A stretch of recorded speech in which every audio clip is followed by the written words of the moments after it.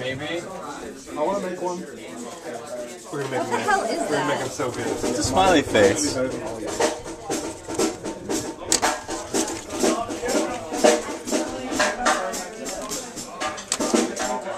I'm just trying to make this like wine. So you guys are from the same Viking tribe. Ah, sweet.